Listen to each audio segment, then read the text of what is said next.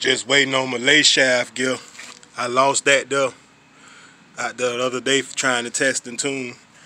And I'm waiting on my air filter. All that stuff should be here tomorrow or Tuesday.